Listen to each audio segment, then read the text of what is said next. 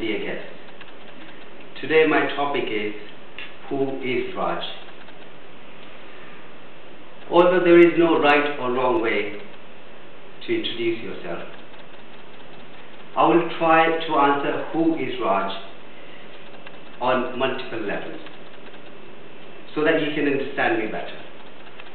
And I will do this in a rather unconventional way. And by the end of my introduction today, you would either know a lot about me or nothing at all. I can see that you're excited now. we all have given our introductions numerous of times. And usually this is how it goes. Hi, I'm Raj. I'm a biomedical engineer. I live in Swindon. I'm 24 years old with 12 years of extensive experience in my field. I like to say it this way. It sounds rather pleasing to me, rather than saying I'm 36 years old. And well done, by the way, if you got this right. But this introduction isn't going to work today because I've only told you about my name, my age, my location, etc. I haven't really told you who is Raj. And I can see you expect more from me.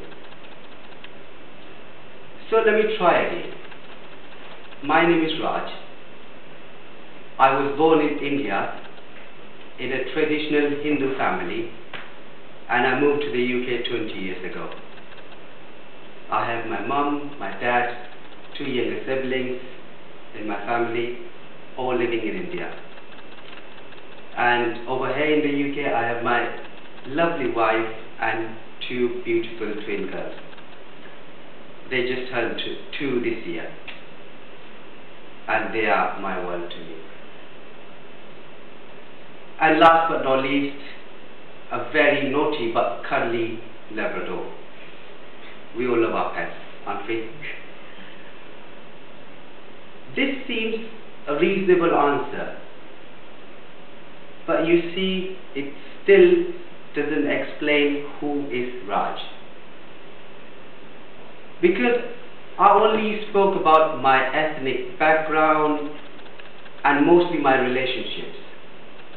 Yet nothing revealed anything who is Raj? I'll try a little deeper this time.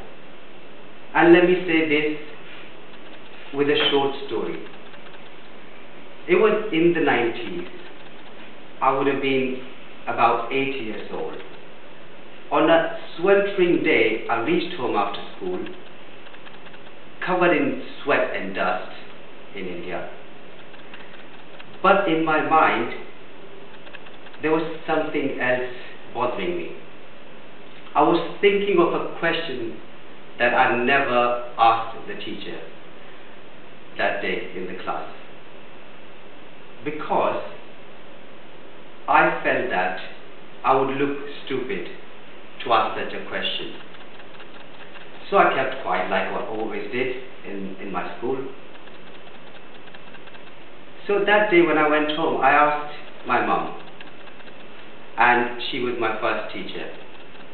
So I asked her, what does, and this is a Sanskrit phrase, so I asked her, what does Vasudhaiva Kutumbakam mean? And she explained it to me. Vasudhaiva Kutumbakam. You see, you're learning a new language as well. and it was surprising that she didn't say anything different to me what teacher did. But it felt different in that moment when my mom explained it to me. I somehow had a deeper understanding of that phrase because she was explaining it to me. Without going into too many details, it meant world is one family. World is one family and it grew on me. I started to link everything to that basic thought, thought, but a very powerful one. Over the years, it embedded in me as one of my core values. My personality developed around these thoughts and values. And you see, a person is known because of his or her personality. Now, this could be I, as in Raj, is an extremely satisfactory answer, isn't it? Agree? I disagree. I'll tell you why. It's, you see, no matter how powerful a value, a thought, a feeling is, it is still a thought in your mind. And until you take action, it's worthless.